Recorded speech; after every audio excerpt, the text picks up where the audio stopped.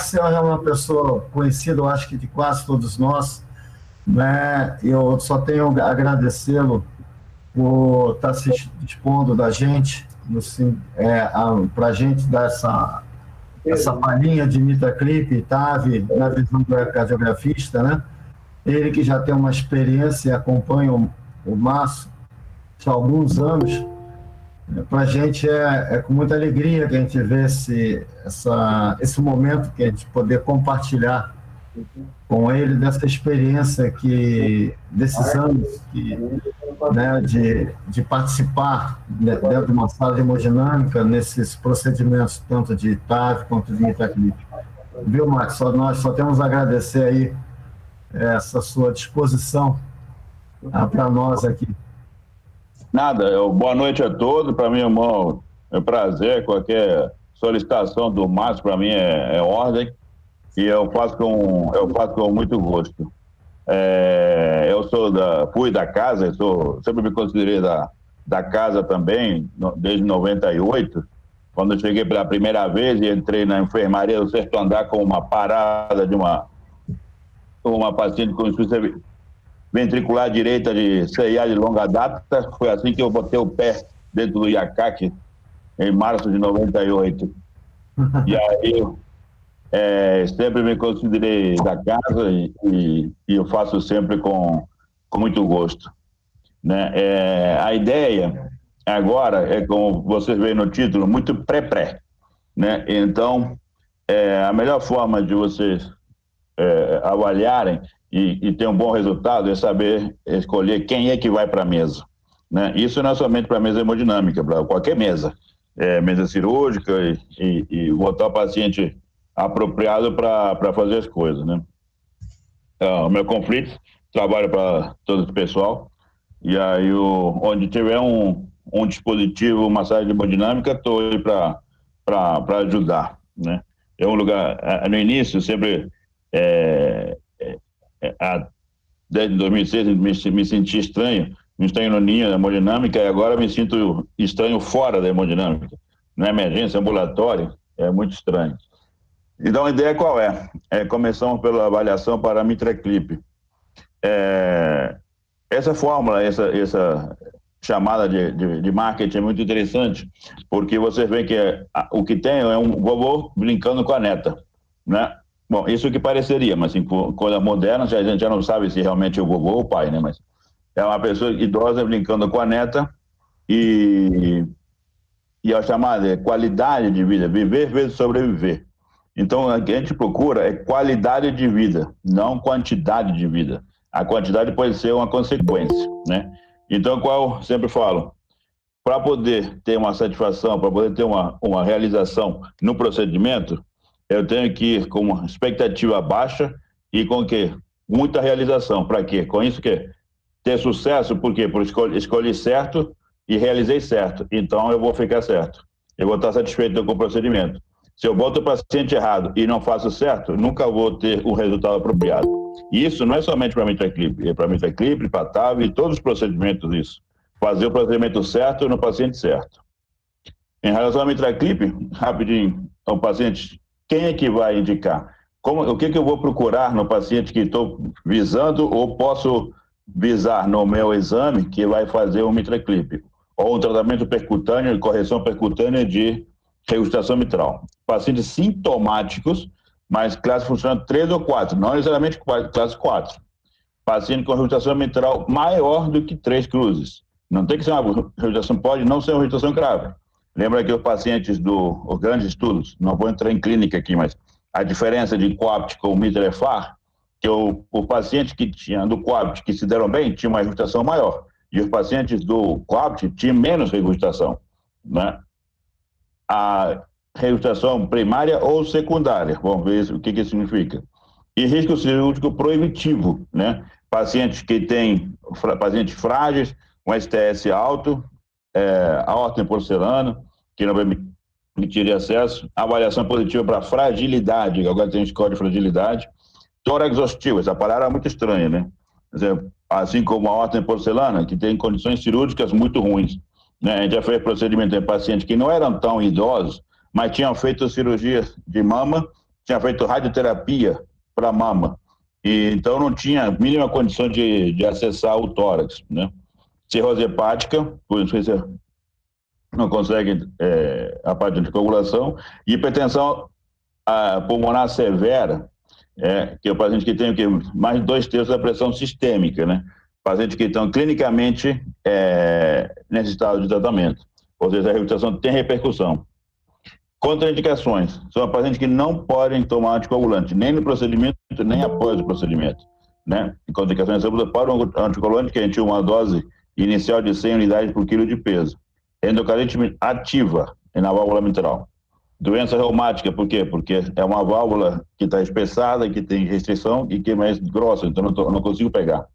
E evidência de trombo intracavitário na veia cava inferior ou veia femoral, que são pontos que eu vou manipular, vou trabalhar dentro do átrio, dentro da veia. Então não posso, se tenho isso, não pode ser candidato.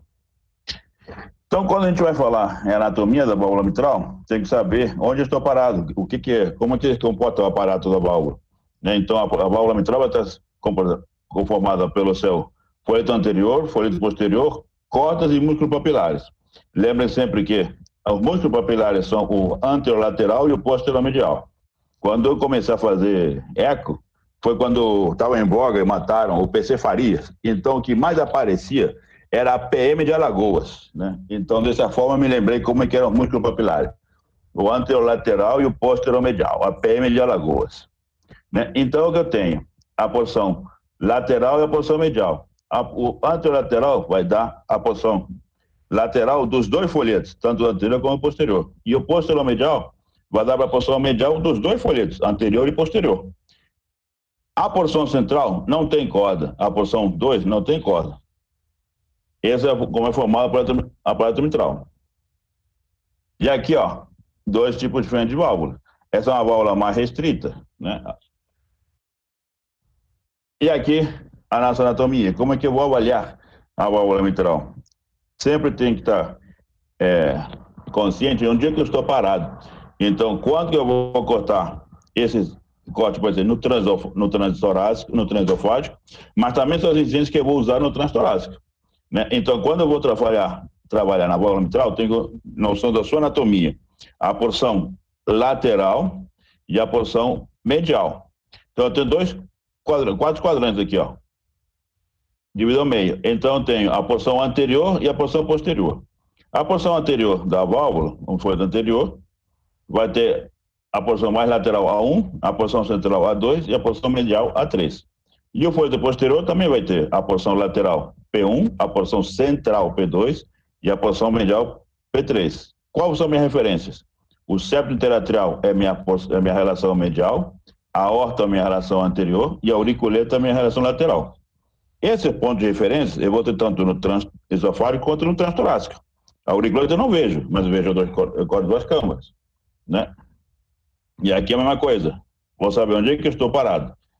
Aorta a minha relação anterior, auriculeta lateral, septo medial, folheto anterior, folheto posterior. A comissura anterolateral, ela é anterior, ela é lateral, mas também mais alta. E a comissura posterior-medial, ela é medial, posterior, mas também é mais baixa. Então, quando eu navego no meu, dentro do meu coração, com a sonda, se eu puxo e continuo vendo a mitral, se para achar o que eu estou procurando eu tenho que puxar a sonda, eu estou indo para fora, eu estou indo para cima. Se eu estou indo para cima, eu estou indo para lateral. Se eu tenho que empurrar, eu estou indo para baixo, para medial. Então, é assim que eu vou saber se eu estou em 3, em 2 ou em 1. E aqui nos cortes, quando eu corto quatro câmeras, aqui, ó, vou pensar assim, eu vou achar que o septo está assim. Não, o septo não está nessa posição, o septo está nessa posição. Aqui está o septo, né? E aí eu vou cortar quatro câmeras. Eu corto zero grau, quatro câmeras, né? Então eu vou ter aqui, ó, ato esquerdo, ventrículo esquerdo, ato direito ventrículo direito, né? Então, eu vou ver aqui porções, eu vou estar pegando. Pode ser A1, A2, P1, P2, dependendo da altura que eu estiver. Se eu estou mais alto, vou pegar A1, A1 P1, se eu estou mais central, A2, P2, e se eu estou mais baixo, A3, P3. Se eu rodo para 45, 60, vou pegar P3 aqui, ó, a circunflexão, a auriculeta, está? Então vai pegar um marcador. E aqui eu sou coronariano. Então, isso é anterior, bem, bem lateral externo. Aqui, ó, auriculeta lateral. Então vai ser, ó, P1. Lembra sempre que quando eu falo de anel mitral e de válvula mitral, a, o folheto anterior está sempre ligado ao cruz córdeos, à matriz fibrosa, à aorta, então a posição anterior. E quando eu pego anel mitral, é o folheto posterior. Então, sempre que anel, eu vou estar no folheto posterior. Se eu tenho anel e auriculeta, é P1.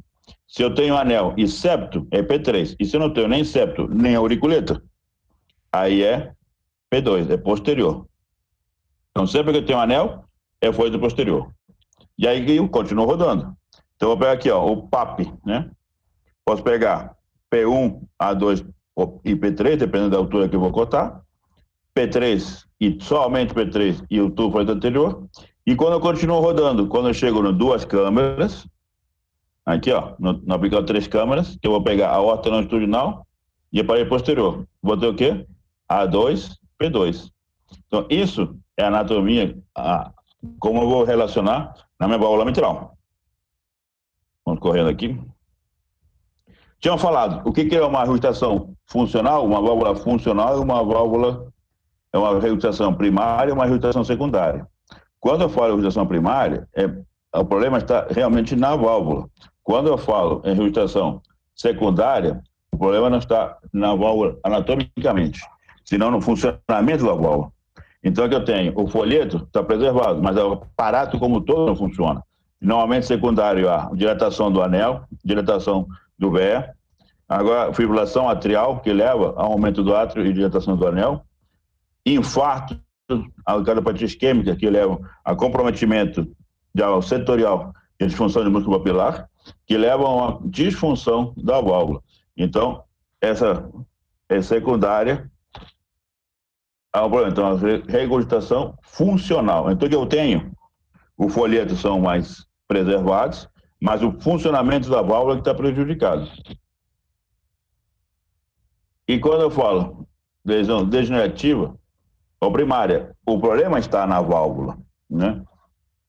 Qual a diferença? Aqui eu vou ter átrios grandes, doenças de longa data, né? Então eu vou ter átrios maiores, válvulas maiores, válvulas mais espessadas. O, o problema está principalmente na válvula, né? e a realização uma monta maior. Quando a gente vai fazer a avaliação da válvula mitral, temos que começar por quais são os objetivos e o que, que eu estou procurando e como vou fazê-lo. Quando a gente fala no ecotransofano para a válvula mitral, o que, que eu vou avaliar? Vou determinar se é uma válvula primária ou degenerativa ou uma válvula funcional. Então, como é que eu vou ver isso? Se o folheto é espessado, se o folheto é. a lesão é, é, é difusa, é localizada, se o folheto tem 3 milímetros, até 3 milímetros, é uma degeneração fibroelástica, ou quando passa de 5 milímetros, que já é um Barlow, e aí já é proibitivo. Então, eu vou avaliar os folhetos, tem flei, tem prolapso, qual a diferença? Fleio é uma ruptura, é a ponta do folheto é que é desaba. Prolapso é o corpo do folheto que passa do plano. Né? É, tem restrição da mobilidade, cleft tem uma doença primária, tem alteração da, do folheto anterior, uma, por é, defeito congênito. A relação com as cordas, as cordas são alongadas, são espessadas, estão aglutinadas. Né? Então, é relação primária. Músculos papilares, eles estão na posição correta ou por dilatação, por comprometimento muscular, eles mudaram a sua posição e essa alteração do, da, da posição do músculo papilar com alongamento da corda, com o espessamento do folheto, levam uma falha no funcionamento. Então, tem um tente nascimento, a válvula é puxada de forma assimétrica, e aí é torcida, e aí leva uma disfunção da válvula. A origem do jato, então, onde que ele se encontra? Onde começa o jato, o jato principal? Não estou tanto interessado na direção, senão onde que ele se começa, se ele é central, medial ou lateral. A avaliação da função do VE, a fração de ejeção e, os, e o tamanho da válvula, do, do ventrículo. Isso leva aqui, se isso aqui é doença de longa data, doença nova, é disfunção do VE por cardiopatia isquêmica, ou já está um VE cansado por sobrecarga de volume, né? se é uma doença aguda ou crônica. E a mesma coisa com o tamanho do lado esquerdo. Agora temos a relação com no paciente com fibrilação atrial crônica, doença primária do átrio, que levam à disfunção atrial, que levam à perda do kicking, e aquele 20% que teria que ser é, ofertado ao ventrículo com a sístole atrial, com a contratilidade atrial, não é mais ofertado. Então, 20% fica de sobrecarga de volume no lado esquerdo. E isso leva o quê? Aumento do volume do esquerdo e a dilatação do anel, que leva à reutação mitral. Então, reutações mitrais crônicas têm aumentos de atos esquerdos grandes. Reutações mitrais agudas têm atos esquerdos menores e menos complacentes. Por isso que eu posso ter uma, uma reutação mitral não tão volumosa, aguda, e levar a clínica de, de congestão pulmonar. Septo interatrial. Vou avaliar para, visando o procedimento, se tem é, CIA. Não consigo trabalhar com CIA. Um CIA grande, não, o, no, a, a, a, o meu dispositivo não tem estabilidade. O FOP é um horror, porque ele te joga exatamente para o lugar oposto onde você. Ele te joga para cima e para frente. O tamanho da, da fossa oval e a presença de aneurismas. Ou, às vezes, casos já tem é, procedimentos anteriores, tem CIA, já tem defeitos dentro, do, de, de, dentro desse septo. E como já tinha falado antes, na contraindicações, trombos, vegetações, cálcio, se tem cálcio na, na região de captura ou, no, ou, ou, na lesão da válvula, e cardiopatia reumática, que é um problema sério. Assim como o Barlow, são degenerações da válvula, comprometimento da válvula, que impedem o seu tratamento percutâneo. Como eu vou calibrar o aparelho? Né? Sempre vou ter que fazer as medidas com mais de um looping, as, as, imagens com e sem color, né, para poder comparar. Sempre vou estar é, capturar a, o, o jato da ajuda mitral na válvula e em vários, vários cortes, todos, usando todos os cortes. Né? Eu tentando concluir toda a imagem, a ajustação mitral. Isso aqui que é importante. Como que eu vou calibrar o, o colo e o Doppler para ter entre 50 e 70 centímetros por segundo do Doppler colorido. Se eu tenho menos de 50, eu vou exacerbar a minha rotação. Se eu tenho mais de 70, eu vou estar subestimando a minha lesão. Né? O 3D para o diagnóstico é uma boa ferramenta de localização anatômica, mas não é essencial para a avaliação pré. Você consegue pegar todas as informações só com o 2D. A aquisição é, das imagens 2D, é, todas as informações necessárias para a avaliação do paciente. Eu vou fazer cortes. Vou começar no zero grau, né? Que vai ser o corte de quatro câmeras. Então, eu vou fazer um corte alto, central e inferior. Quando eu pego o corte alto, eu pego cinco câmeras, pego, abro a horta, né? Aí eu tenho a 1P1, a 2P2 também, pego a horta, e quando eu entro de novo, pego a 3P3, né? É isso que eu estou fazendo aqui. Eu tenho o quê? Um corte alto, um corte médio e um corte baixo no zero grau. Tá vendo aqui, ó, o zero grau? Então, o ângulo é o mesmo, mas se eu puxar a sonda, eu vou estar pegando a 1P1. Se eu entro na posição média, a 2P2, e se eu entro mais posterior e baixo e posterior, eu vou pegar o quê? Lembra que posterior é uma coisa, inferior é outra. Então, quando eu vou entrando, indo para baixo e para trás, eu vou ir para 3, né? Eu, vou, eu puxo, vou para cima e para frente, 1 um no centro inferior. É esse mesmo ângulo, para lá e para cá, né? Zero grau. Superior a 1P1, né? E aí eu vou pegar se em que ponto, se a rotação é mais medial ou mais lateral. No centro, a 2P2, e quando entro mais, a 3P3. Né? Em zero grau, ou quatro câmeras, inferior. Aí eu rodo Aqui, ó. Vou pegar aqui. Esse aqui. De novo. Resumido, A1, A1P2, A1P1, A2P2, A3P3. Zero grau, alto, médio e baixo. Aí eu rodo para intercomissural, entre 60 e 90 graus. E aí, o que eu vou ter? Eu vou estar trabalhando no, no meu, com o meu eixo anterior, médio e posterior, na linha intercomissural. Né? Aqui de novo. Eu vou estar cortando aqui, ó, entre 60 e 90 graus, assim, ó. Né? Então, o que eu vou ter? Quando eu faço uma anteriorização da minha mão com a catraca, só aquelas coisas que tem que ser usadas na, na sonda, quando anteriorizo, eu pego só os folhetos anteriores, os três segmentos anteriores. Quando eu pôr no meio, na, bem na linha intercomissural, eu vou pegar P1, A2 e P3, bem na linha intercomissural. Qual é o macete para você saber que está pegando bem A1, P2, P3? Tá vendo? PAP, aqui, ó. P3, P1, A2, P3. Quando ele abre, fica feito uma cela. O, o P1, o A2, fica uma cadeira e o P3 em cima, ou ele desaparece. Eu consigo pegar assim, ó, é que eu estou bem na linha intercomissural. E aí eu posteriorizo mais, e eu vou pegar o quê? Os três segmentos posteriores.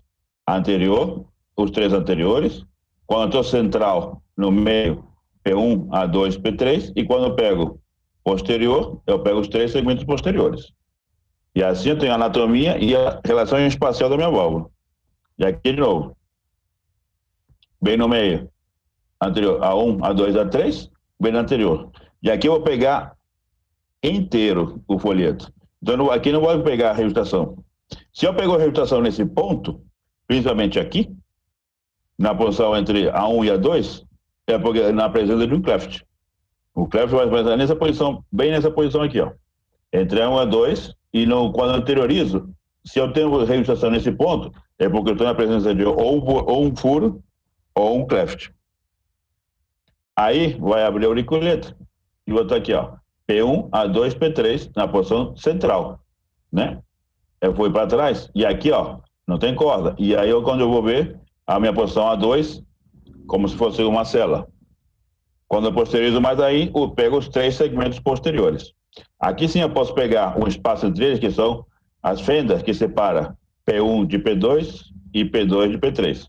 P1 de P2 e P2 de P3. Né? Aqui. E de novo, resumindo, anterior, os três segmentos anteriores, central no corte 45, 60 graus aqui, ó, 60, 90 graus aqui. Vou pegar P1, A2 e P3, e aí nos cortes posteriores, posteriorizando, vou pegar só o ponto posterior. E assim eu vou saber onde que eu estou parado, né?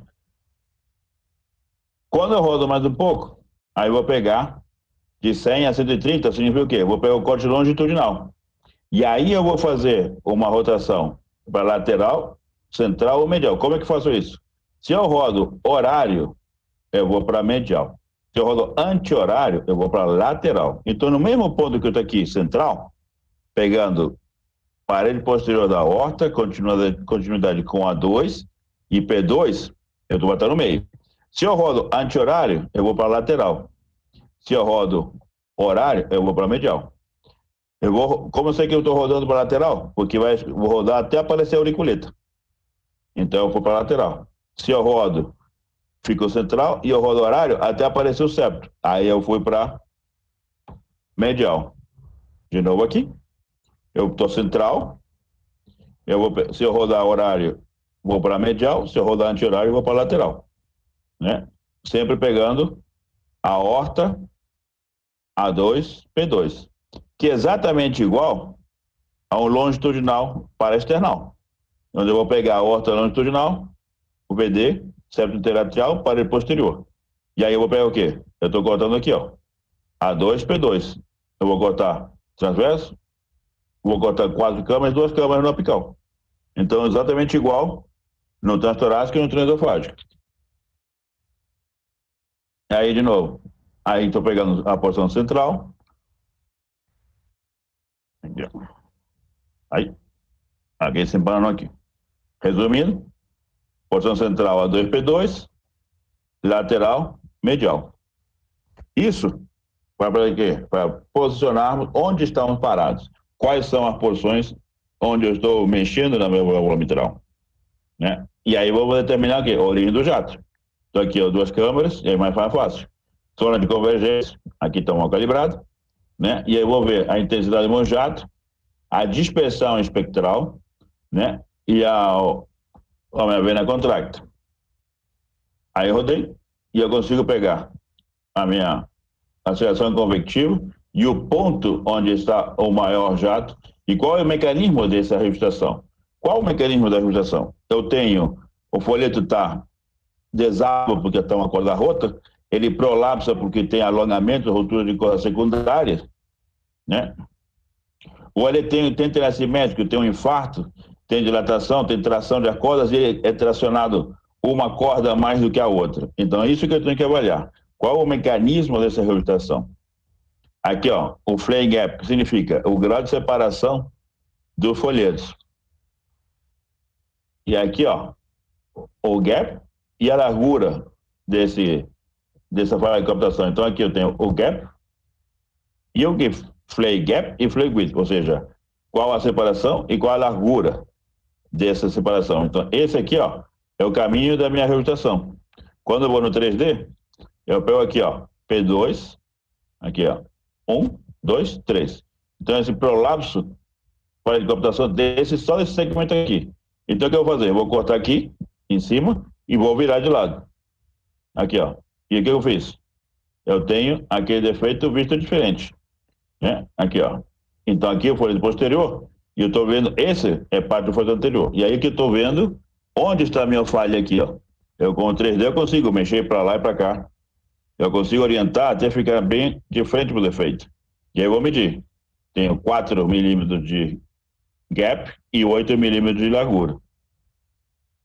A vena contracta, aqui cortei a medida, em torno de 7 milímetros, né? que é a critério de gravidade. Nós temos aí o grande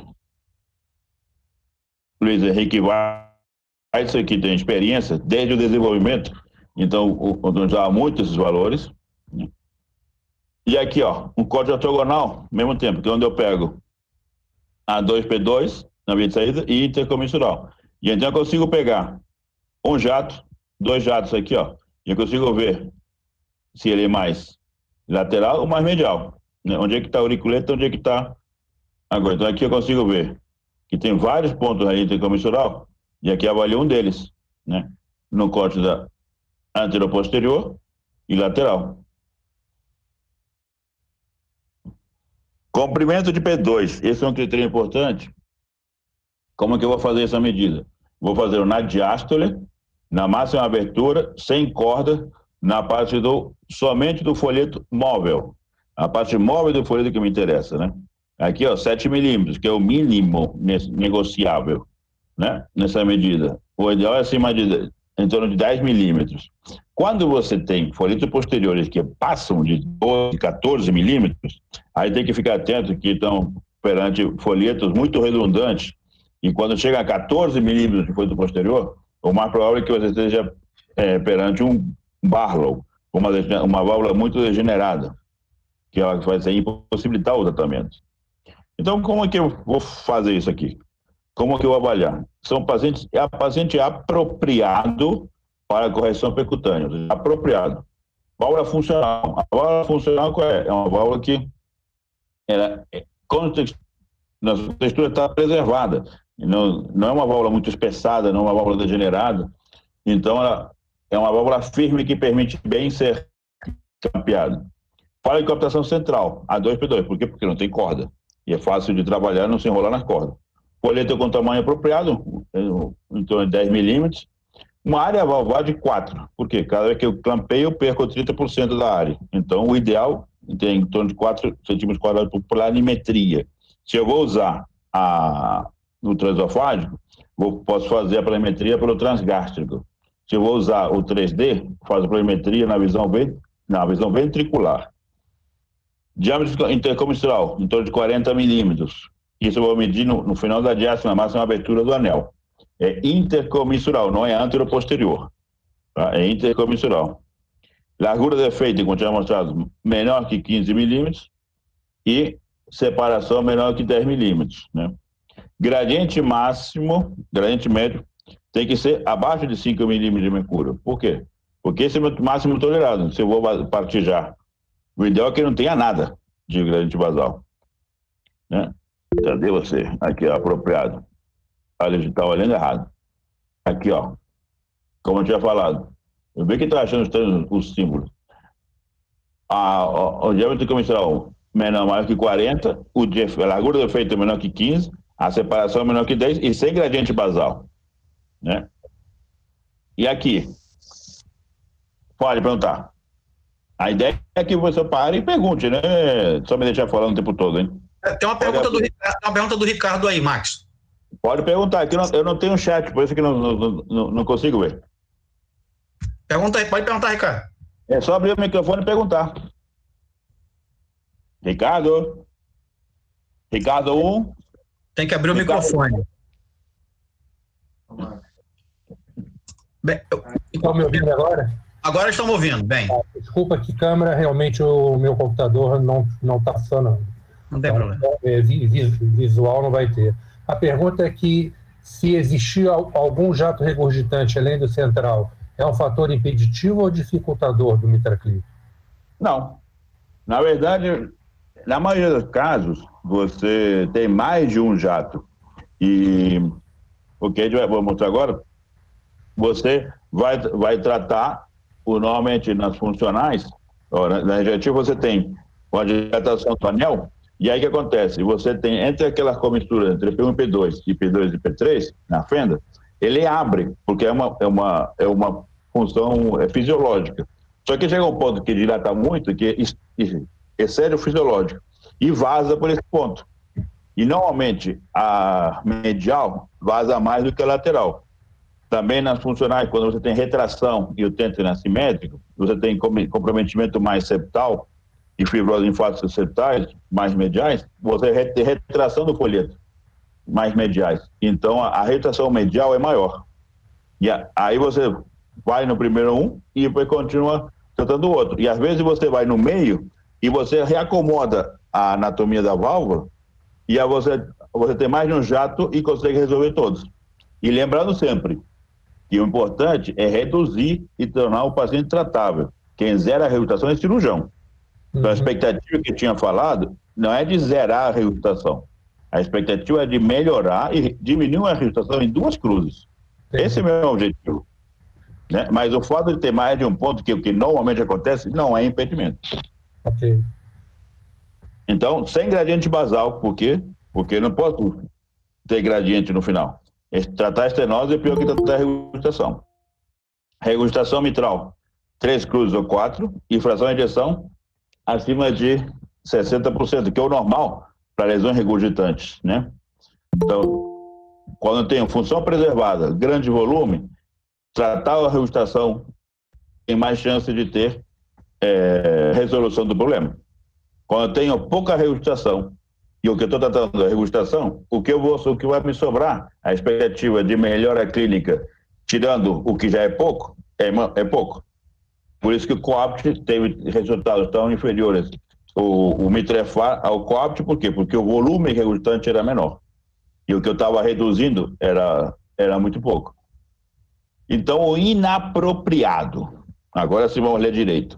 O inapropriado qual é? Mixomatose folhetos, o corte qual é? 5 milímetros de espessamento do folheto. E, e, na, e no Barlow, eu vou ter mais, naqueles seis segmentos, quase todos eles com espessamento. Né? Então, algum pode ter 3 milímetros, 3,5 e outros mais de 5.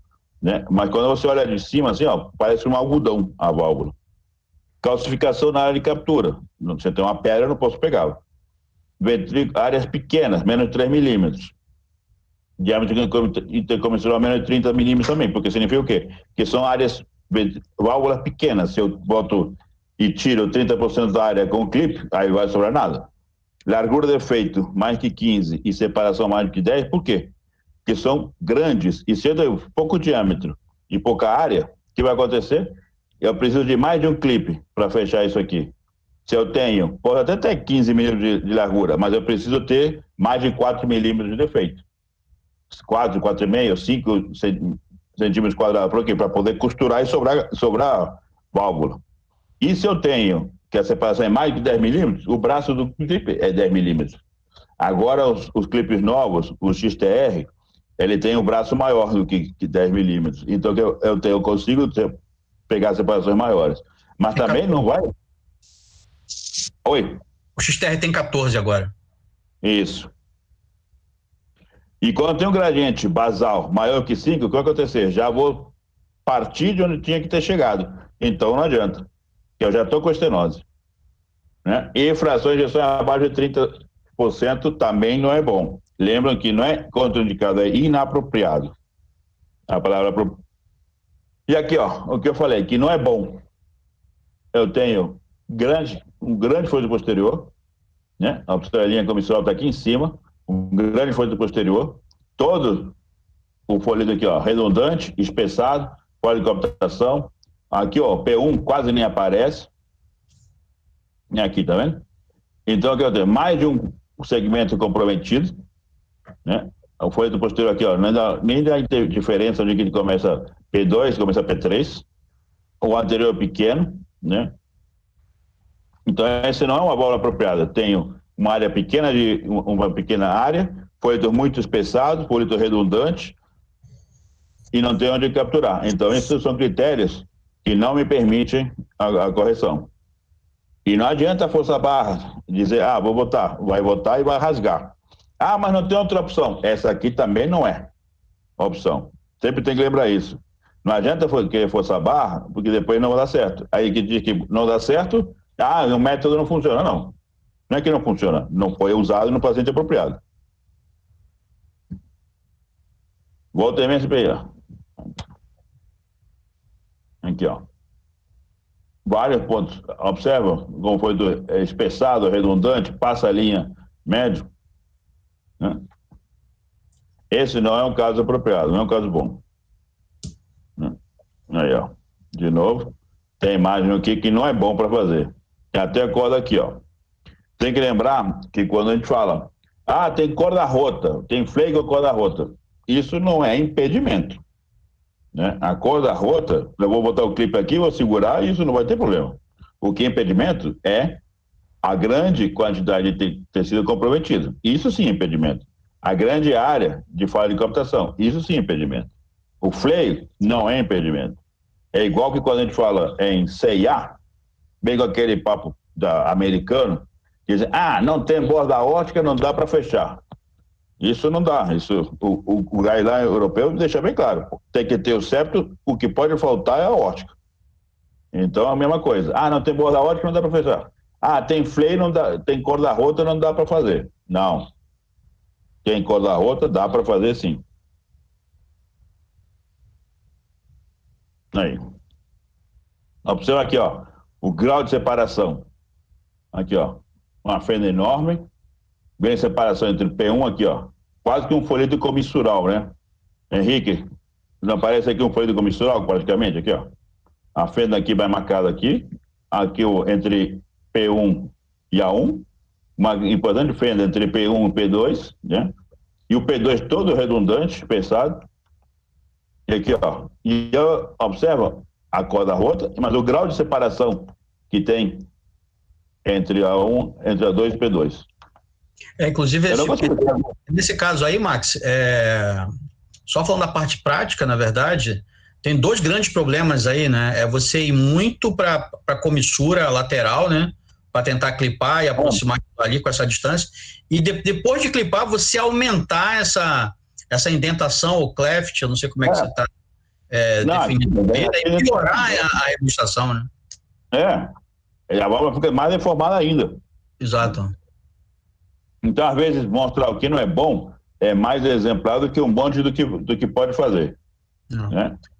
E aqui, ó, eu tenho retração, fibrose, aqui, ó, aquela retraindo, e a válvula não funciona, a válvula é espessada, então ela anatomicamente é ruim e funcionalmente é ruim. Né? Observa como passa o plano aqui, ó. Aqui, ó. Então, de novo, o que, que era apropriado? Uma válvula funcional, né? uma válvula anatomicamente preservada. Um defeito central, uma válvula grande, o P2, apropriado para poder capturar. Uma área valvular grande, né? maior de 4. Uma válvula grande com defeito não tão grande. né, e sem gradiente basal. Isso é que procuro e o que tenho que avaliar quando vou falar em válvula vitral, né? E aí, o Hugo, tá certo até aí? Hugo tá com o microfone tá sem o microfone? Tá. tá tudo bem, Max. Tá Alguma bem. pergunta? Antes de a gente passar para a vitral, para a horta. Olha, perguntas é, sempre irão existir, né? É, mas isso são coisas para muitos de nós. É, a gente está começando a tomar conhecimento disso. Né? O, o, que me chama um pouco a atenção é que realmente, é, do ponto de vista anatômico da válvula, da válvula mitral, é, as restrições não são tão grandes como a gente imaginava que fosse. Você mesmo colocou que fleio no, no, o fleio de válvula mitral é uma coisa que você pode é, buscar correção com o mitraclip. Né? Não é então, impedimento o fleio. O que você não pode é ter um monte de coisas. Um monte de ah, não é problema, mas eu tenho um fleio com um buraco grande, com uma válvula pequena, com corda. Aí não dá, né? O somatório de acaba... fica complicado, né? Quando você tem defeitos é. isolados, é melhor. Exatamente. E sempre o importante é procurar entender é, o que, que, está levando à disfunção dessa válvula. O, o qual o, o, mecanismo da regurgitação? É, é só o espessamento? É, o polito tá, não está anatomicamente ruim, mas ele não funciona. Porque a corda está funcionando, funciona, está retraído. Esse é o ponto. Né? Qual o mecanismo da regurgitação? Isso que temos que entender. Mas o comprometimento subvalvar, é, quando ele é, é, eu, é, a percepção que eu tenho é essa, que o comprometimento subvalvar talvez seja mais é, dramático para o mitaclip do que o comprometimento em si da válvula. Dizer, Com certeza, porque aqui é a história. Hã? Quando alguém falou alguma vez que quando você tem um problema na válvula ótica, você tem um problema na válvula. Quando você tem um problema na mitral, você tem um problema no coração. Né? É, então, é, é, não é somente, é todo um conjunto que leva a isso, né?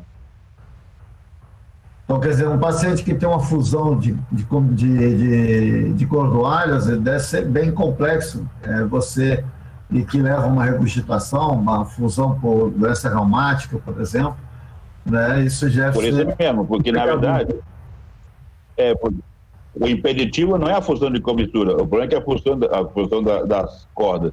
O problema é que na reumática tem uma função de comistura e uma retração na mobilidade. Na mobilidade. Né? Mais o espessamento e mais o cálcio. É. Então, a primeira coisa que acontece na, na febre reumática, que você sempre lembra que na, na, nos exames no início, quando gente usava muito o módulo M, e eu, eu começava com o código longitudinal, a primeira coisa que você via, a folha estava assim, aqui nos laudos tinha aquela frase performada.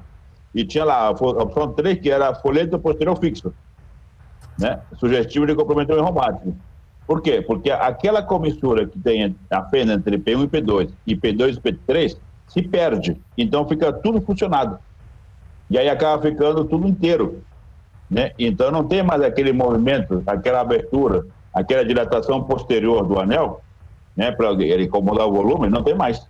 A, a, a, a coisa processo todo é funcionado. Né? Por isso que fica ele fixo. Exato. Né? É por aí que eu acho que o comprometimento reumático. E aí não dá para pegar. Né? Ok. Então, Max, Max tem, uma, tem uma pergunta do Ricardo aqui, no, no chat aqui. Além da disfunção Sim. severa do VE, uma disfunção severa do VD, é uma contraindicação. Essa é a, a moda agora, né? Tem voga. É, olhar para o outro lado, né? É, antigamente não olhar porque não via, né? É, quando começamos era muito difícil você pegar cavidades direitas, fazer um longitudinal de cavidades direitas, mas é, um pouco consequência da cirurgia e os procedimentos de Fontan, né?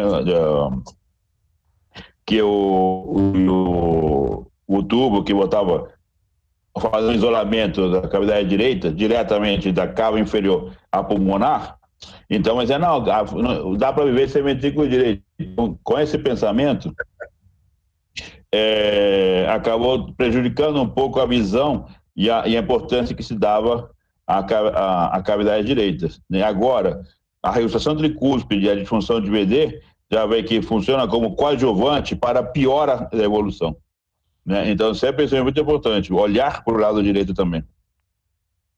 Eles vão ser é, definitivos e vão determinar a evolução ruim do paciente. Não a curto prazo, mas a longo prazo. Então, para o mitraclip, não, né? Na verdade, para a evolução do doente, vai ser pior, o doente que tem uma disfunção de PD, como é, é a IT, né? Então, a evolução vai ser pior. Você, é... você tirando, principalmente quando você tem estenose mitral, que você tem aquela dificuldade de escoamento da, do, do, do ato direito, ato esquerdo ato direito, e a congestão, e aquela dificuldade, uma sobrecarga pressórica também, você tem muita sobrecarga direita.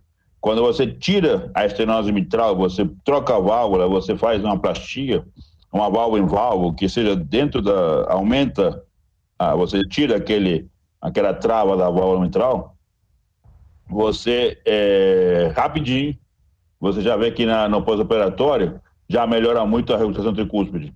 Né? E quando fazem plastia da tricúspide também, por isso é muito importante. Não somente quando a gente vai falar de mesa clipe, mas quando faz de correção cirúrgica da válvula mitral, é, olhar para a tricúspide, olhar o anel, se o anel tem mais ou não tem mais de 40 milímetros. Se tem mais de 40 milímetros, tem que fazer uma, uma redução do anel tricúspide. Ver a, a válvulas pesadas, fazer, olhar para a tricúspide, ver se tem possibilidade de fazer a plastia dessa válvula tricúspide também. Porque aí fazendo as duas coisas juntas, o resultado cirúrgico é muito melhor. Hugo, agora a gente consegue ver você. Eu não. ok, obrigado. Ou bota a tela ou bota o vídeo Hugo. E aí, tranquilo? Vamos para mim. Aqui, ó. A válvula ótica é a visão do 3D, a visão anatômica e a visão do 2D, clássica da mesma válvula. Né? Então, o que, que eu procuro no TAV. O TAV, é, isso daqui foi parte da apresentação, o, o, Rodrigo Visconti que me, que me ajudou, me passou aqui. É, aliás, essas imagens são as minhas. É, o que, que a gente procura? Temos muito mais incidência e a, a, a casuística e a expertise em relação ao tratamento percutâneo da válvula aórtica do que é, da válvula mitral, né? Essa aqui desde 2008, que eu já estou em contato com a, com a, com a TAV. Antigamente TAV, agora TAVER, né? Aqui, ó. trocaram implante por é, né? Nunca entendi muito bem porque Por conta do reembolso, né? Estados Unidos, né? Para o sistema de saúde é. pagar, trocar a palavra implante por troca, né? Por replacement. É. Mas você está sempre tá colocando novas, você não tira uma para botar outra, né? É. Mas trocamos essas questões aí. E aí, a avaliação do paciente, mesma coisa. O que, que eu vou entrar? No início, em 2000, até 2009, 2008, o ECO tinha muito papel na, na escola do paciente e na, na, no dispositivo.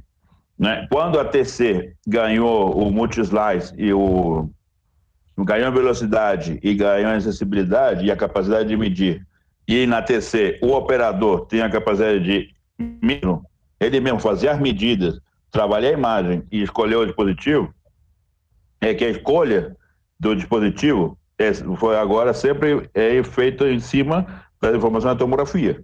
Mas aí nós ganhamos o 3D e a capacidade de trabalhar a imagem, igual que faz a tomografia. Então, estamos tentando recuperar o, o território que tinha, que se perdeu por quê?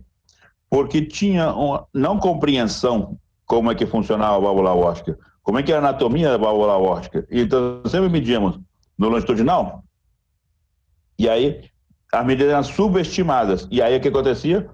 Tinha subestimado, as provas ficavam pequenas, tava, a, a, não tinha essa acurácia que precisava para uh, entender o processo bem. E aí ficava com reutação paraprotética e a válvula pequena, por quê? Porque estava a medida pequena. Até que começou a entender a anatomia e a TC veio a, a corrigir isso aí, né?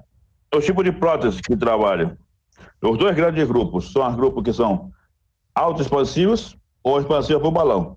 E tinha Lotus, que era um híbrido, que ela mesmo tinha, ela se formava, ela se encaixava e tinha três fivelas, ela vai voltar, que encaixava uma, e ela não era, ela se moldava e se acomodava, não precisava ser dilatada, era a forma de abertura dela era como se fosse aquele joguinho daquele assim que vai e volta, ele ia se acomodando toda essa camada até prender.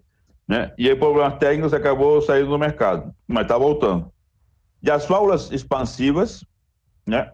que ela vai, você vai liberando ela e ela vai acomodando pela sua eh, força radial, com a, com a válvula de pericárdio dentro dela, ou a SAP, que é uma válvula expansiva para o balão, na qual você monta em cima dentro de um balão e você distende ela progressivamente com o balão.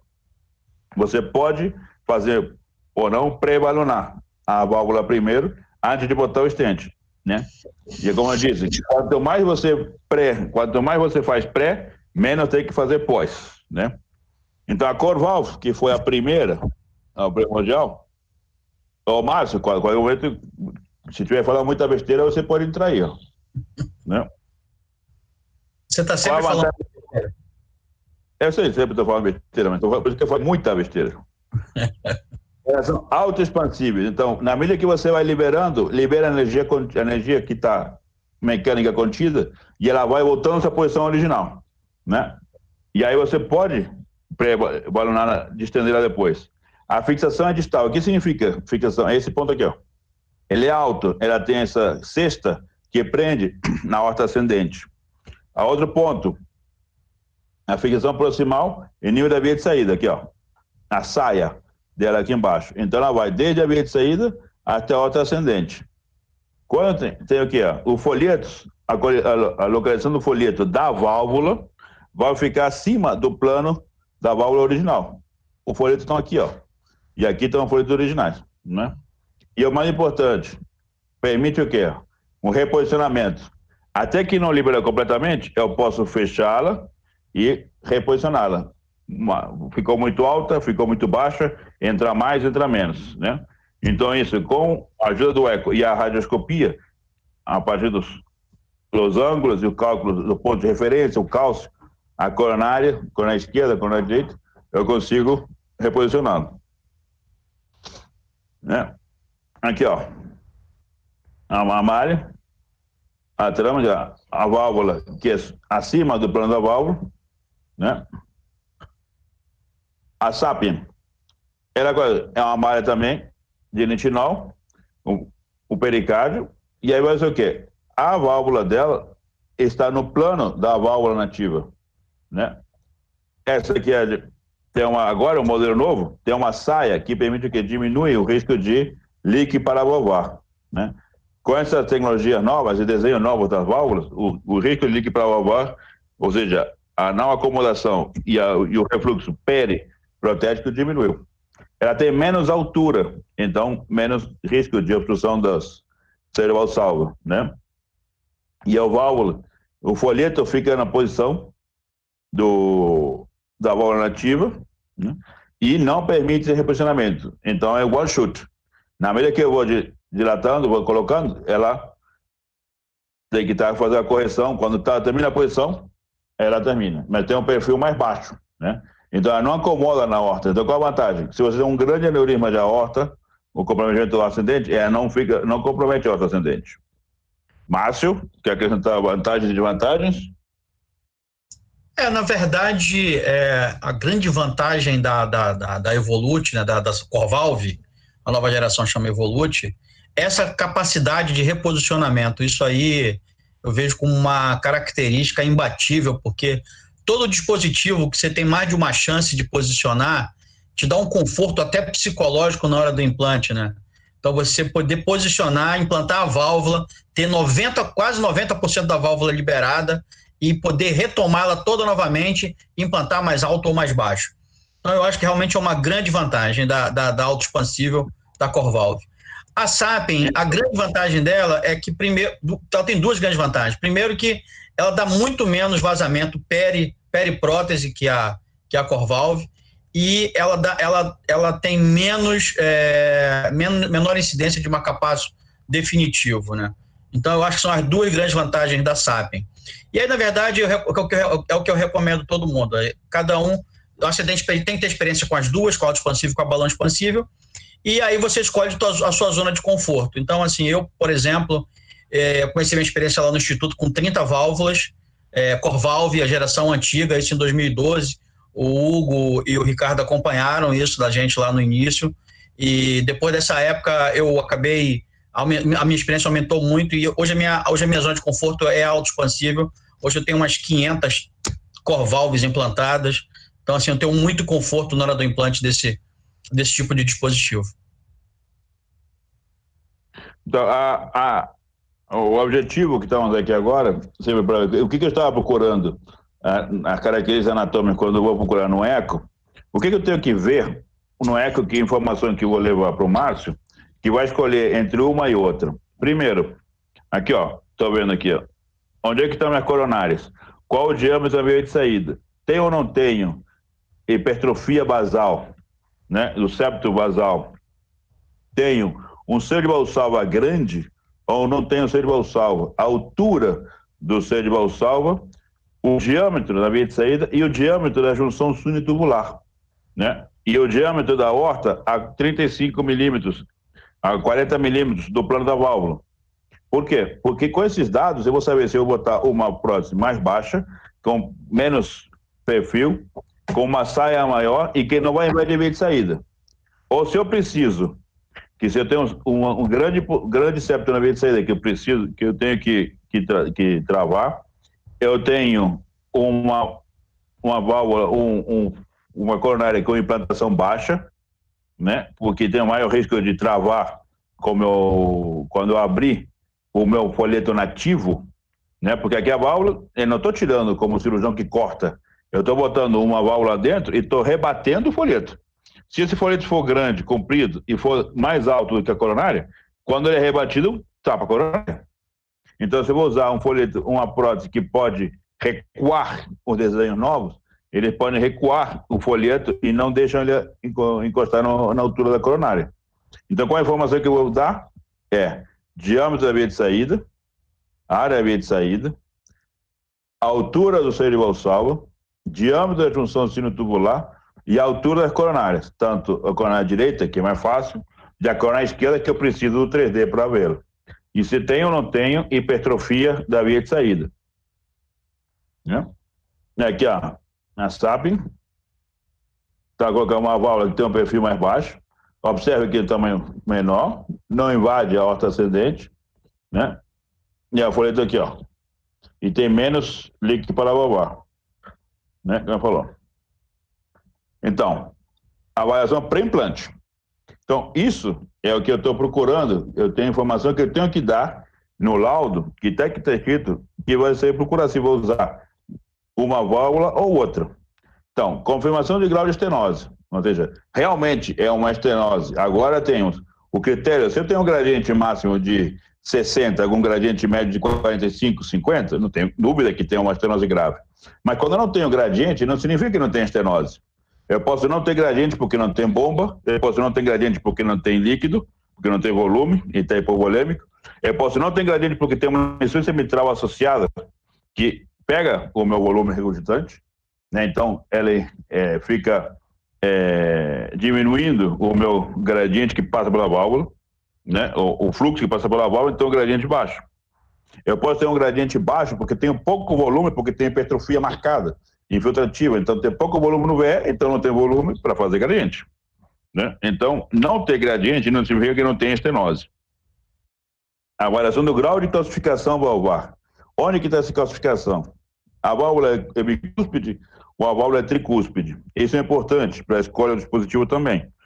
Por quê? Porque quando tem a válvula bicúspide, eles vão se medir, vão se levar mais pelo diâmetro e o tamanho, a distância que tem na borda das cúspides e nem tanto na base, na via de saída. Então isso é importante. A altura que eu tenho aqui, tá vendo como eu tinha falado? O, a altura do seio coronário. Então, medida do anel, medida do anel aórtico, a altura do seio coronário, né? do seio de valsalva e do seio coronário, a posição das coronárias, né? Normalmente a coronária esquerda é mais baixa que a coronária direita, né? Distância dos ossos coronarianos. O grau de regurgitação aórtica e mitral, né? Então, se é uma lesão pura, o quando tem de regurgitação mitral. A regurgitação mitral grave é um fator de pior prognóstico em curto prazo, não a longo prazo. Em curto prazo, os pacientes que têm regurgitação mitral mais do que moderada grave, é, mais do que moderada, tem pior evolução no curto prazo, no 30 a 60 dias. Né? No ano, não. Tem hipertrofia e morfologia do septo ventricular.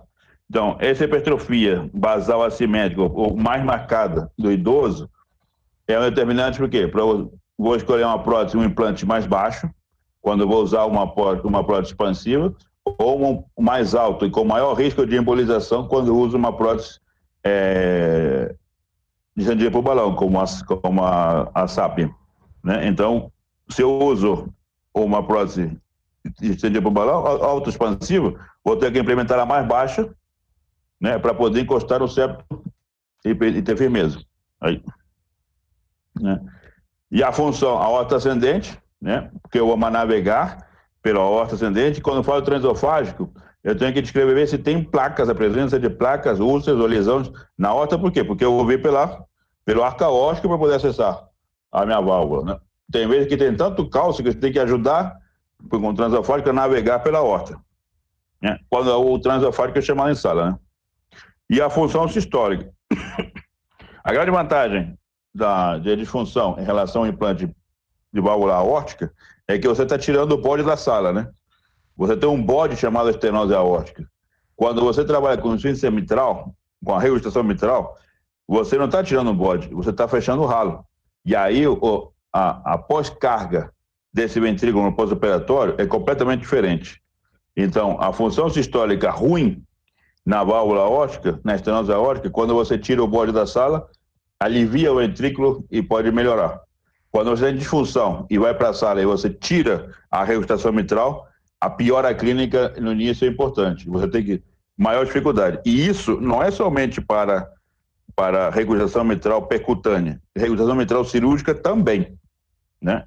Você tem a paciente com disfunção grave, com insuficiência mitral, e você bota na sala para trocar a válvula, tarde, a evolução no pós-operatório é muito ruim.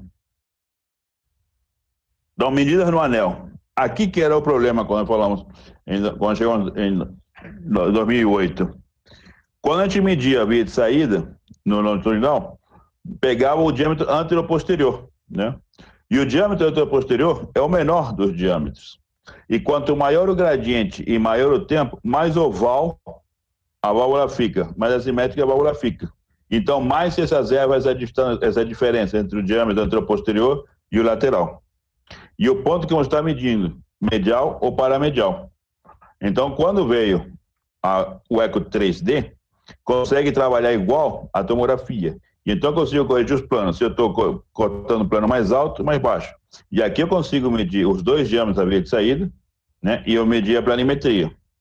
Isso é trabalhoso, mas os pacientes, agora no Instituto vai chegar os aparelhos 3D, é, o E95 tem já a forma semiautomática de fazer isso. Né? Então vai para o quê? Vai a tomografia e vai o rim. Né? Então, naquele paciente com insuficiência renal pré-dialítica, eu tenho a opção de fazer as mesmas medidas na acurácia para com o ecotransofágico 3D. Né? E agora, nas, agora, as máquinas novas, eu até posso fazer o, no transtorácico também, mas tem menos sensibilidade. E aqui, ó, as duas grandes diferenças, né? Então tá mais, vai ter 23, 26, 29, que vai ser da Sapien, e eu consigo chegar na na Corvalve, na nova, até 31 e 34 milímetros, né? E então, ou seja, de 23 até 34 milímetros. Né? E na Sapien até 29. Na prótese nova, a, a Accurate, que é da Boston, da Boston, né, Márcio? É. Eu vou ter PMG. Em vez de chamar 23, 26 e 29, chamamos de P, M e G. E aqui vou ter um diâmetro importante, um valor dado importante. Opa. Quando eu falo na válvula expansiva, tipo Corvalvo, eles dão muito valor ao perímetro do anel.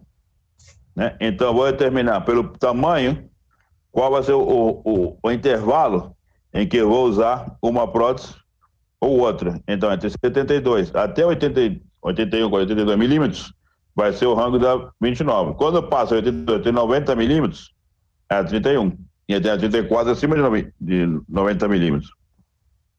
Né? Então, esse é o perímetro que é usado na Corvalve. E depois eu tenho o diâmetro do anel derivado do perímetro, né, que eu vou utilizar. Quando eu falo na SAPIN, eu vou usar a, a área da via de saída medida, tanto no, no 3D quanto no, no, na tomografia. E aqui eu consigo pegar no 3D, aqui a imagem do 3D, e os três cortes que permitiu isso. O corte longitudinal, o transverso, longitudinal e sagital. E aqui eu consigo pegar dois cortes longitudinais né, e um transverso. E esse transverso eu consigo ver se estou cortando na, no, no plano da junção sino-tubular, da horta ou do anel. Eu consigo corrigir o ângulo e pedir exatamente onde eu estou medindo. Quando eu penso, eu localizo a minha coronária direita, eu consigo medir a altura da coronária direita. E depois localizo a minha coronária esquerda e eu consigo medir a altura da, da minha coronária esquerda. Tem que ter um antepassado japonês para poder, uma família para poder até se acostumar a fazer todas as medidas. Não é soprar e fazer garrafa, não. Mas tem que fazer, pode fazer. São as medidas que eu preciso. E é diâmetro da via de saída, área do anel, altura do seu de valsalvo, altura das coronárias e junção sino-tubular e altura e diâmetro da horta 40 milímetros do anel. Vamos correndo aqui. Então aqui, ó, função, diâmetro, né? E aqui, ó, quanto ao pré-procedimento, transtorácico versus transofático. Aqui vai ter uma luta de interesses com o Márcio, né? No início, todos os procedimentos eram com transofático e anestesia geral.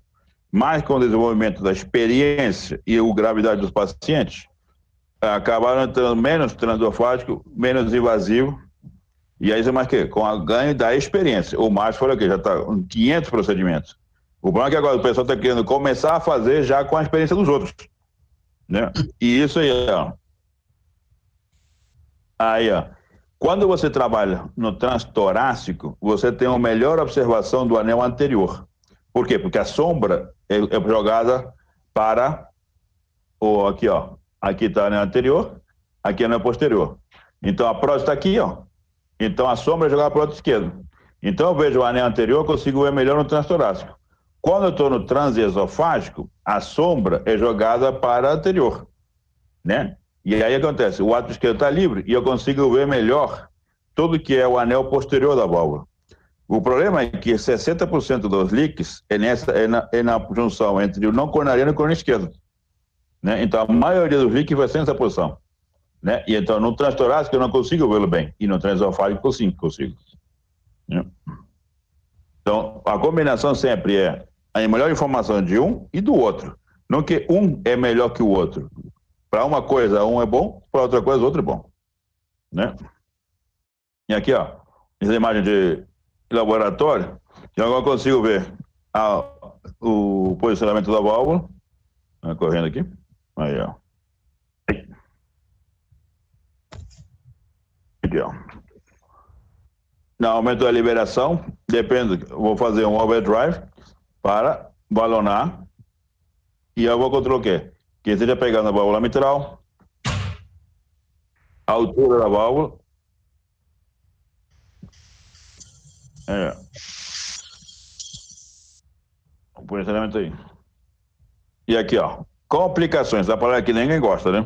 A primeira, líquido para valvar. Qual o problema quando estávamos falando em mau posicionamento ou dimensionar corretamente a minha via de saída? Por quê? Porque eu tenho que escolher o tamanho apropriado. Se eu boto uma, uma válvula que é inapropriada, porque tem uma horta grande e vai ficar solta, porque tem o seio alçado abaixo, vou usar uma, uma SAP pequena, o que vai acontecer? Se eu boto menos do que deve ser, então subdimensiona a válvula, eu vou ter líquido para ovar. Se eu superdimensionar a válvula, eu tenho o maior risco, quando tem cálcio localizado, de fazer de rotura de aorta. E sempre falaram que quando a auto, auto expansiva, depois de colocar, ela continua acomodando. Então, se eu boto uma válvula pequena, eu tenho risco de leak para ovar. Se eu boto uma válvula superdimensionada, eu tenho risco de rotura. Se eu boto ela numa altura inapropriada, ela pode embolizar para a horta ou, pra, ou não ficar ou pegar mitral. Então eu tenho que sempre ter exatamente os pontos, dimensionar a válvula apropriada e colocar de forma apropriada. E o mais importante, presença ou não de septo hipertrofiado, hipertrofia basal do septo, que é um fator para expulsar a prótese e migração da prótese, né? Aqui, ó. E depois que eu... problema que eu vou ter aqui. Regurgitação ótica pós-estável, né? Então, calcificação anel e folhetos, periprotética. O que vai acontecer? Se eu tenho cálcio, muitas bolas de cálcio, cálcio difuso, a válvula vai expandir, mas vai ficar travada e vai ter leak entre o cálcio, né? Entre os, a calcificação. E então vai, vai permitir o colheito. Folhetos espessados e calcificados não permitem um, uma boa expansão. Então, mais expansão da válvula, mais expansão da válvula e subdimensionamento da válvula vai dar um leak periprotético. Uma regulação protética, ação do guia, ainda estou com o guia dentro da prótese, então não dá. Né? Ou lesão do folheto por conta do guia. Agora, na mão já mais experiente, isso é menos. Mas, quando você faz uma pós-dilatação excessiva, você pode ter lesão do folheto. Né? É, tive um caso recentemente, participei de um procedimento que fizemos uma válvula em válvula, mas deu um problema técnico no meu HD, eu perdi tudo. Por isso que não consegui mostrar. Né? Ainda estou tentando recuperar. Mas o que aconteceu? Era um anel muito grande, está no limite superior de uma 34, fizeram um pós-valonamento, é, excederam 10% do limite da válvula. E aí o que acontecendo? Ficou com líquido para ovar e rompeu o folheto, no, o, que seria topografia coronária direito. Né? Por quê? Porque estendeu -lhe, o limite da válvula. Né? Aqui, ó. Vou medir. Como que eu vou medir uma equação de continuidade? Tem o problema. Onde que eu vou medir na via de saída? Né? Então, sempre o ponto antes, né? Mas o mais importante é medir a relação de velocidade da via de saída com a horta, né? Eu vou medir o... Aí, aqui, ó. Mais expansão de prótese. A prótese ficou pequena. Tá faltando aqui ainda, tá vendo? Então aí vai dar regulação periprotética porque a válvula não expandiu corretamente. Né? Como eu sei que, ó, mais expansão de prótese, ele não está encostando corretamente. Quando eu consigo ver o jato regurgitante ao longo de todo o trajeto, eu sei que essa reabilitação é no mínimo moderado. Né? Essa reabilitação não é pouca. O problema de você usar o transverso, aqui ó, é que eu tenho que estar sempre, tá vendo aqui ó, onde eu estou cortando aqui em cima? Não estou no ponto máximo da reabilitação. Então, isso depois, quanto pega do anel, é mais complicado. Né? que eu tenho que estar sempre, ah, diz, ah, até 30% do anel, da circunferência do anel. Aí é, dá para tratar, grave. A partir disso é grave cirúrgico. É, mas se, se eu tenho uma, 30% do real, ou não é real? Porque eu estou medindo aqui, tá vendo a linha? E na verdade o ponto máximo é aqui embaixo. Né? Então, esse que é o diâmetro que me interessa. Ah, como é que eu vou medir? Essa, esse diâmetro, importante. Até 2 milímetros de diâmetro não é importante. Acima de 5 tem que tratar. Né? E entre 3 e 5 tem que ver o resto dos parâmetros, principalmente disfunção, é, insuficiência cardíaca e hemólise, né? para determinar o ponto, quando que eu vou tratar essa reabilitação paraprotética. Se estou em sala ainda, eu posso pós-balonar, tentar balonar de novo e fazer o quê? Mar, transformar mar para maior expansão da prótese. Né? Isso dentro de sala. Você ainda tem me permite balonar de novo. Quantas vezes eu consigo balonar cada um dos dispositivos, Márcio? Na verdade, você pode balonar quantas vezes você quiser, só que quanto mais balonar, maior a chance de você lesar o folheto da, do dispositivo implantado. Então, não existe. E, tem alguma, e tem alguma das duas que seja mais tolerante ou permissiva em relação ao pós-balonamento? É, as duas têm problemas. É, tem que lembrar que a, a Corvalvo ela tem folheto porcino, são folhetos, folhetos mais finos, e ela está montada no stank. Então, foi o que você falou. Se você é, pós-dilatar com um balão maior que é, o perímetro da válvula, você pode perder a coaptação central. Então tem sempre que ter cuidado na hora que você é, pós-dilata esse tipo de dispositivo. O, a, já a pós-dilatação da balão expansível, você tem que ter muito cuidado para na hora que você para que o marca-passo, o overdrive, né, o rapid pace funcione de forma muito eficaz, porque qualquer movimentação, qualquer é, ciclo cardíaco completo né? Você liga o marca-passo a 180.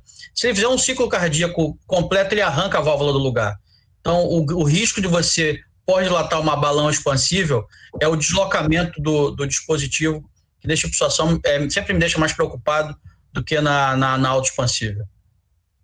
É, e porque tem a saia, né? A saia, a quantidade de, de, de prótese que tem abaixo da válvula protética e acima da válvula protética na, na autoexpansível é maior, né? Exatamente. Correndo aqui. E aqui, ó, mais uma vez, a válvula está pequena, pode estar mal, mal expansiva porque não consigo balonar ou porque tem muito cálcio que não permite ela abrir e aí também não tem uma boa acomodação, uma boa expansão do folheto é, da, da, da válvula protética. Né? Aqui. E aqui, ó, a válvula não ficou bem posicionada, mal dimensionada, caiu para dentro, uma sapia aqui, embolizada para dentro do ventrículo. Corre aqui para mostrar o nosso caso. E a reutação mitral, porque a válvula, a implantação baixa, e prejudica o funcionamento da válvula mitral. Então, a válvula só pós-implante, gradiente transvalvar, né? É, como toda válvula, eu posso ter, ela é um pouco estenosa e um pouco regurgitante. Né? Então, gradientes de 5, 10 é, milímetros de mercúrio é esperável. Né?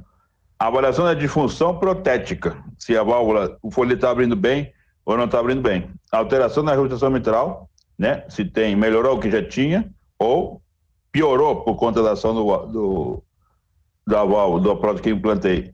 Trombo, que é o meu fantasma de qualquer procedimento, patrocinado pela nossa heparina, de às vezes qualidade duvidosa, e endocardite, que é uma, uma complicação aguda, uma complicação crônica, ou subaguda, às vezes. Recentemente, um caso de endocardite com duas semanas de implantado, né? Né? Aqui a endocardite que pode ser na malha, né? Ou na cúspide, mas é bem difícil de ver, né? Correndo aqui. Aqui, ó. Lembra que o, o endocardite, você diagnostica pequenas coisas, como o Palestra falou na, outra, na aula dele. Pequenas coisas você vê melhor no 2D do que no 3D. Então você diagnostica no, no 2D e mostra no 3D. Né? Corre aqui. ver, é uma complicação rara, né? Mas Aqui, ó. Que você pode ter também posicionando a válvula é, mal alinhada, com balonamento, e você é, levar a lesão do tratamento de saída, né? Eu, pessoalmente, acho que vi uma vez só, sem ver o chave.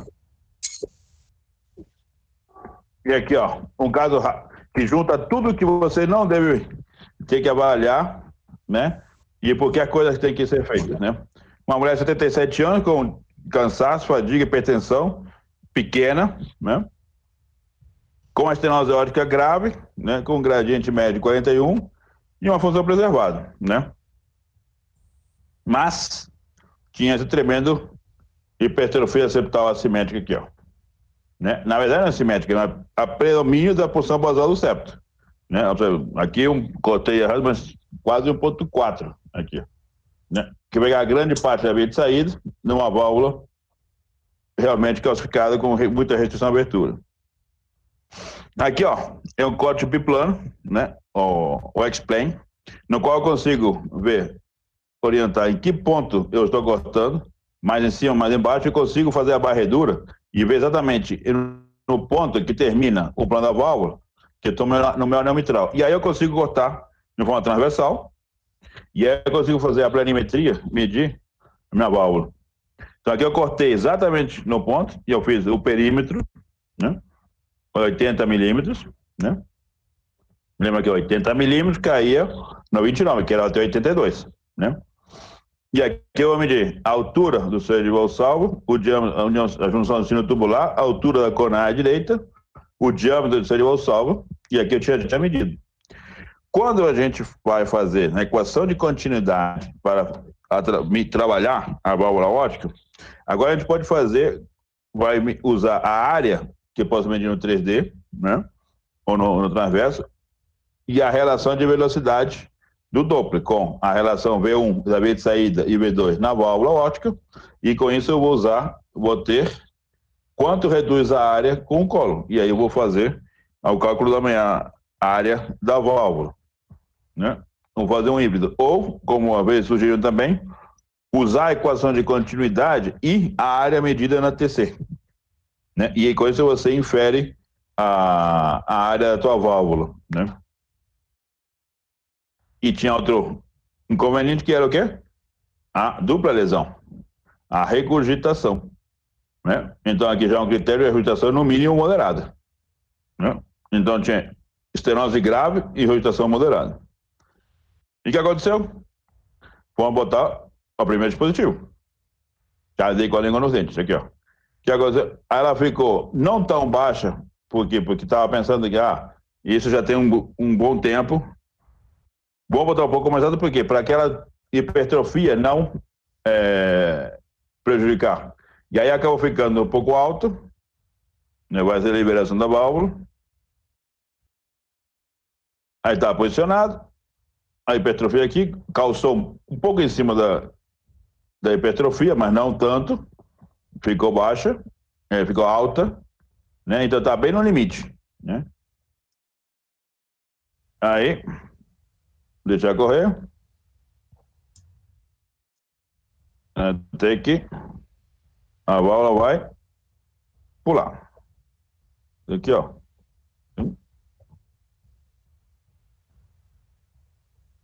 Aqui, ó. Cadê a válvula? Aqui, ó. Aqui em cima. No corte transverso aqui, ó. Essa é a bifurca, bifurcação pulmonar. Né? Tronco da pulmonar, pulmonar direita e pulmonar esquerda. E a válvula está aqui em cima. Né? Volute 29. Completamente solta. Aqui, ó. O plano da válvula e ele embolizado. Por quê? Porque com a colocação alta. E aí já completamente fora do plano da válvula. Então, eu laçar de novo, passar o dispositivo vai ter, vai prender, coisa que tem esses pinos, a válvula para quê? Para passar o snare e segurar a, a prótese. Então vai segurar a prótese e passou o quê? Prendeu a válvula. Aqui o snare prendeu a válvula para quê? Para estabilizar para quê? Porque a válvula está solta aqui no arco óptico. E vou ter que passar com outra válvula por dentro. Então prende a válvula para ela não embolizar e quando ela não descer e não tapar as coronárias. E não ter uma válvula circulando dentro do arco óptico. Aí passou o segundo dispositivo, por dentro do primeiro, e aí sim, fazer uma implantação mais baixa. Implantes mais baixos, tá vendo aqui, ó, onde estava a hipertrofia, então aí vai cobrir a hipertrofia em implantação mais baixa. Só que dá para ver, ó, a segunda complicação, que agora é uma complicação mais rara, né? Que é o quê? A dissecção de aorta. Aqui, ó. O flávio de dissecção.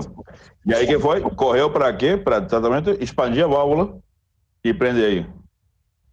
Aqui, ó. Já dá para ver dissecção, o que defendem coisa. Dá para ver dissecção na com a, com a, com a, com a anjo. Sim, dá. Mas quanto tempo você demora para ver? No, no eco já vê mais rápido. E aí veio a dissecção. Né? E aí aqui, ó, um dispositivo e outro prendendo aí expandiu rápido. E aí, ó, a forma que eu falei. Vamos ver o que? Líquido para valvar. Aqui, ó. Não tem expansão completa. E aqui na parede posterior.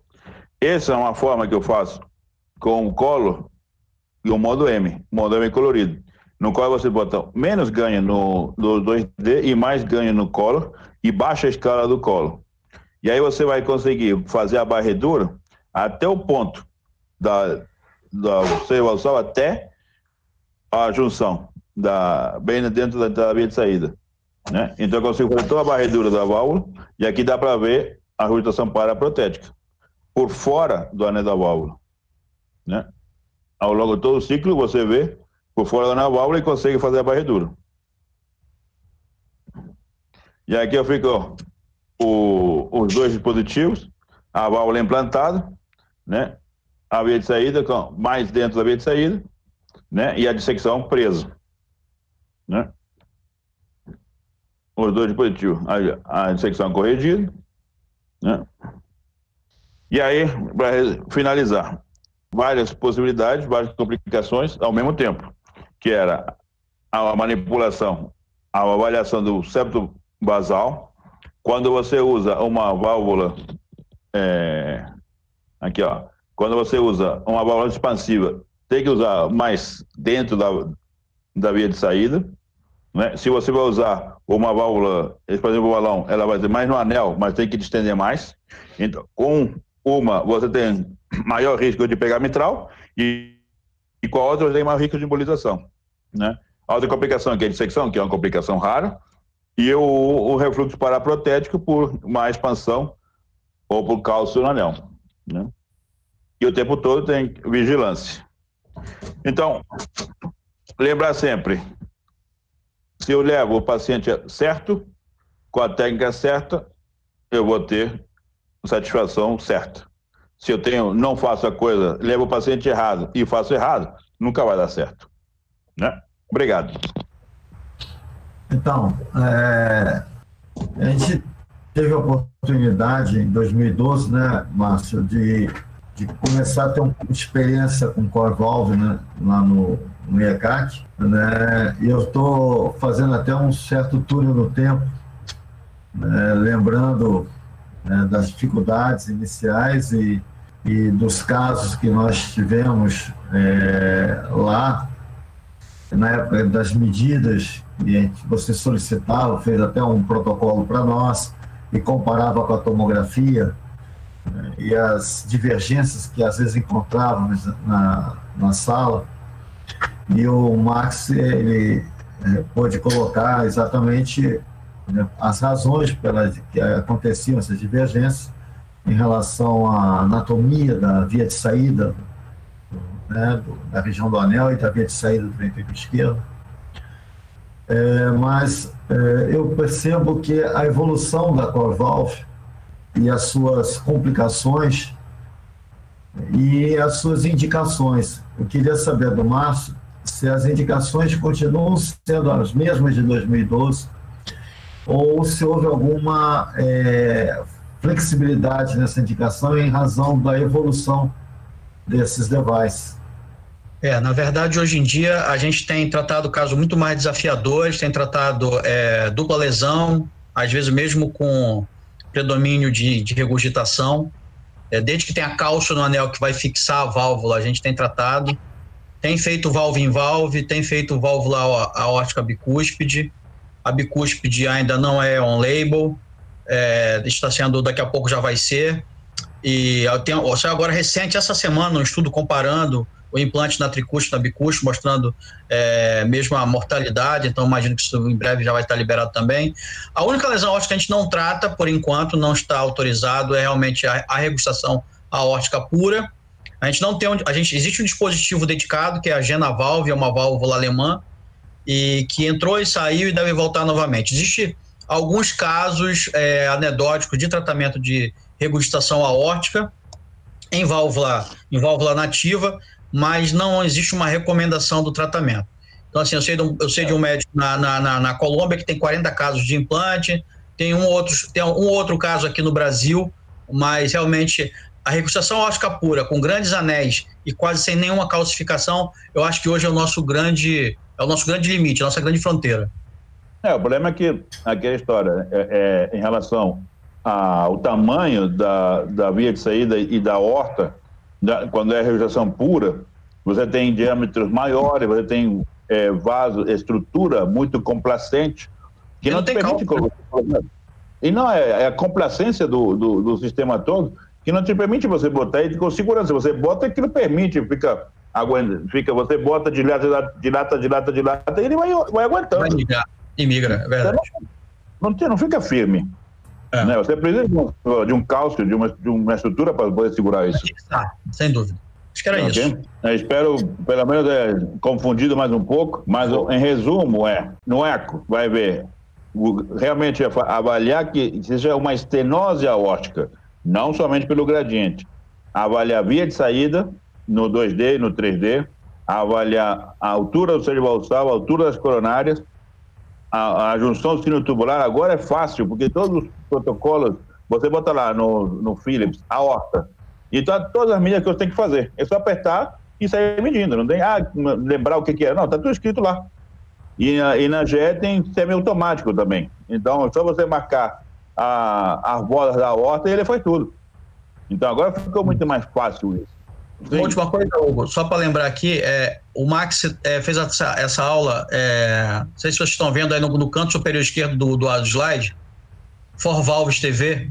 Isso é um canal que a gente tem no YouTube de intervenção estrutural e o Max depois vai editar essa aula e vai ficar lá no, no canal para quem, quem não viu ou quiser rever alguma parte da aula para poder fazer alguma anotação, vai estar tá lá no, no canal. A gente tem quem não, tá, quem não, não, não, não conhecia, não está inscrito, pode se inscrever. Normalmente a gente faz transmissões a cada 15 dias, costuma ser sábado de manhã.